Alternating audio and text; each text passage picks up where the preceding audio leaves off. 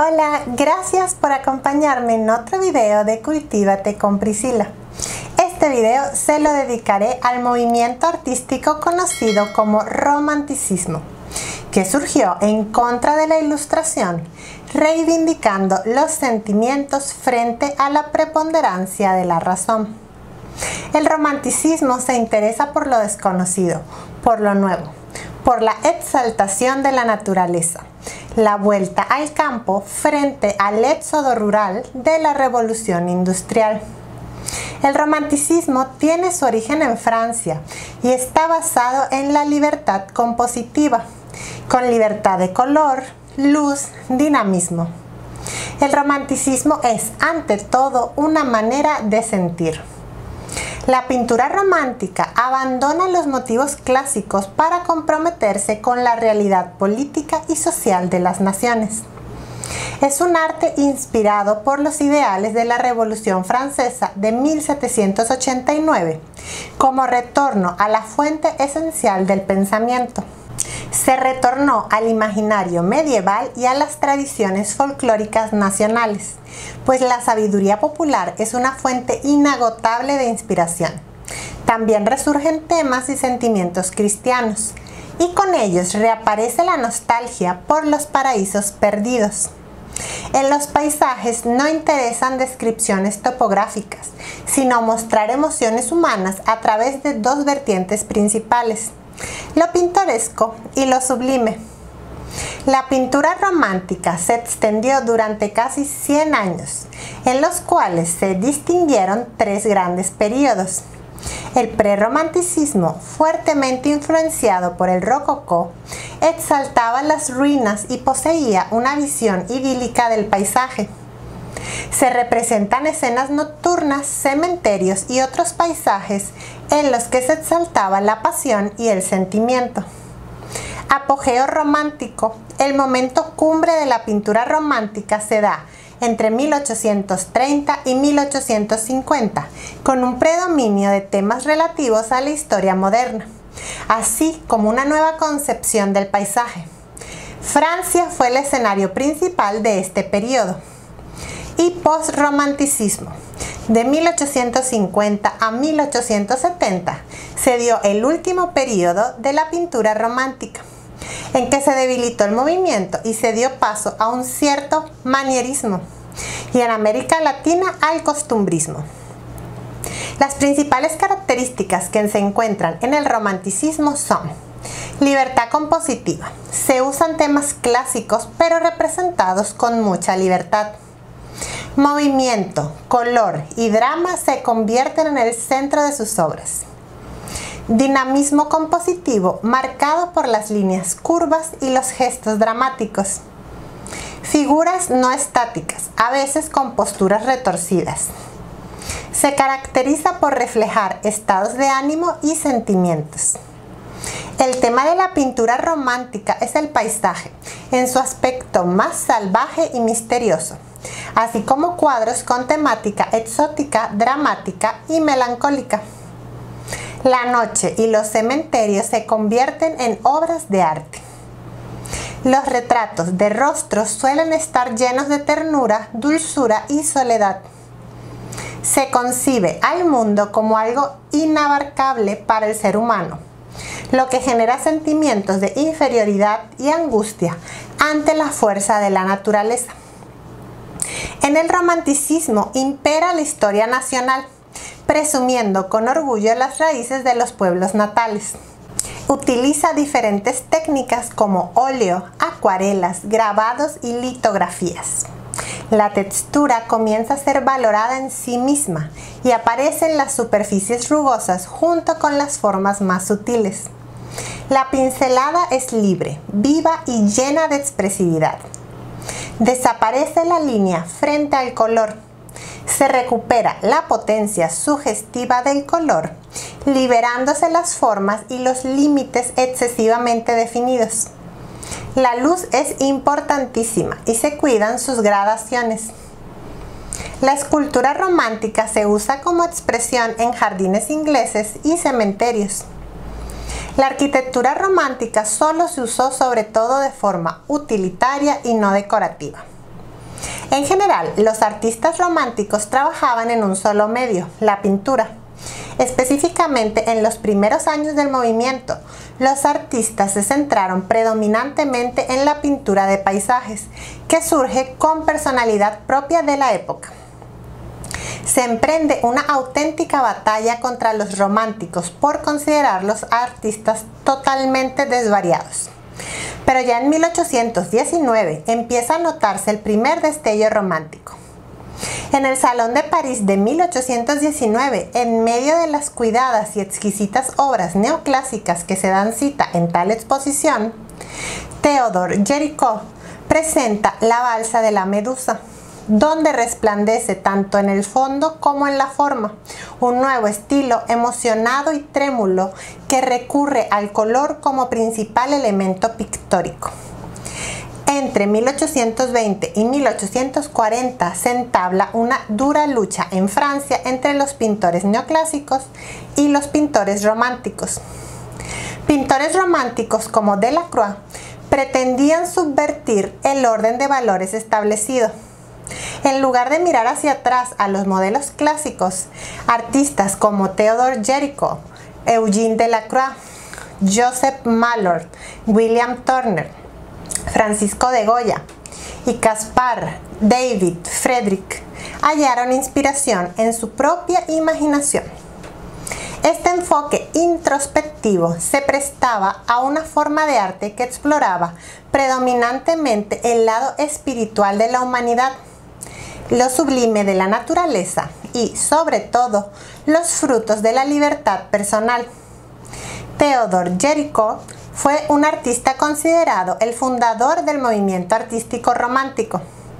Durante su corta vida pasa de su formación neoclásica en el taller de Pierre Guérin a un planteamiento romántico.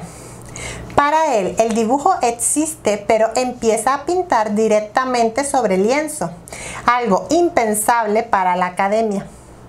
Fue el principal maestro de la época para jóvenes pintores, incluyendo a Delacroix. Inicialmente, la balsa de la medusa fue motivo de escándalo y de turbación, ya que narra un acontecimiento trágico basado en hechos reales.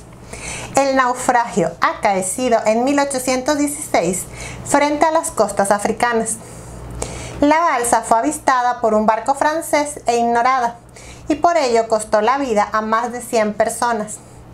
Jericho quiso dar testimonio de este escándalo social es una obra influida por el naufragio de Enea de Rubens. Su composición es dinámica, movida, con figuras retorcidas. Muestra el dramatismo con la luz en el mar y en el cielo. Los rostros reflejan la tragedia, con personajes tratados de forma individual en un cuadro de grandes dimensiones. Además, uno de los muertos sería Delacroix. Eugene Delacroix era gran admirador de Jericho. Fue criado en un ambiente culto, burgués y dedicado a la pintura y la música. Su arte se formó en contacto con la pintura flamenca, italiana e inglesa del Louvre. Extrae sus temas de las leyendas antiguas o de la literatura romántica. Comienza a presentar obras románticas desde 1823, como La libertad guiando al pueblo de 1830, obra que se convertirá en el símbolo de las revoluciones del siglo XIX. Esta pintura no distingue entre clases sociales, pues representa personas de diferentes estratos sociales, como resulta evidente por la ropa que visten los protagonistas. Por ello se considera un símbolo del arte político. Probablemente sea uno de los primeros ejemplos de este género y, sin lugar a duda, una de sus pinturas más apreciadas. Otra de sus grandes obras es La Masacre de Quíos de 1824. En ella la composición es movida, sobresaliendo las figuras en escorzos. Su luz es uniforme, pero posee detalles en claro oscuro. Hay gran expresividad en los rostros de los vencidos con la finalidad de plasmar los sentimientos. Destaca el tratamiento de las telas y la riqueza del atuendo turco, con joyas perfectamente representadas. Otro gran paisajista inglés es William Turner, el cual prefiere la acuarela al óleo para conseguir tonos luminosos más sutiles, más atmosféricos. Su cuadro más importante es Lluvia, Vapor y Velocidad, una de las obras que más influencia tuvo en la pintura impresionista. Preocupado por la luz, que en sus lienzos cobra gran esplendor y será su objetivo último en el final de su vida, antecediendo al impresionismo. En cuanto al color, acude al círculo cromático que ya intuyó Delacroix. Otra obra importante suya es La Tempestad de Nieve. Caspar David Friedrich, alemán, empieza a pintar en 1807 paisajes al óleo, a los cuales les da una apariencia religiosa mística. Sus paisajes son religiosos. La representación de la naturaleza alcanza la expresión más elevada donde las personas cumplen el insignificante papel de espectadores frente a la magnitud del paisaje. Algunas de sus obras son Salida de la luna sobre el mar, que representa un estado emocional, el concepto de infinito, el vagabundeo y las imperfecciones del alma y de los sentimientos. Francisco de Goya, como los primeros románticos, a menudo usa temas sobrenaturales y de religiones antiguas, pero siempre para describir los problemas de la sociedad o las emociones humanas. Por ejemplo, entre 1819 y 1823 decoró su casa con 14 murales sobre temas que muchos los catalogan como terroríficos, como el famoso Saturno que devora a sus hijos, dedicado al mito griego. Pero al mismo tiempo, como los artistas franceses, él también se dedica al tema de la rebelión política y la libertad humana, como en el trabajo del 3 de mayo de 1808 donde habla sobre el miedo y la fuerza de los rebeldes españoles que son asesinados por soldados franceses. Una vez más, un artista romántico ha colocado las emociones humanas en el centro de la obra, haciendo que el horror de la muerte se viva de primera mano. Arquitectura en el romanticismo. La arquitectura del romanticismo se evidenció principalmente en Europa, siendo Francia, Inglaterra y España las naciones donde más se representó. Cobró relevancia más que nada en el siglo XIX. Se recuperó el gusto por las edificaciones medievales, sobre todo en Inglaterra, con las obras de John Ruskin, William Morris y Edward Poggi. En Francia, las obras reflejaban los gustos de la nueva burguesía rica y opulenta, fruto de la revolución, que construye obras monumentales para su uso y disfrute. Su principal representante fue Charles Garnier, con su obra Le Palais Garnier, del año 1875. En Inglaterra, el romanticismo se centra en la construcción historicista, predominando el ambiente exótico y salvaje en las obras arquitectónicas. Palacetes, iglesias y edificios gubernamentales son obras representativas de su arquitectura. Algunas de ellas son el Parlamento de Londres, obra del arquitecto Charles Barry, y el Palacio de Justicia de Londres del arquitecto George Edmund Street. España, por su parte, se centra en la búsqueda de una arquitectura nacional.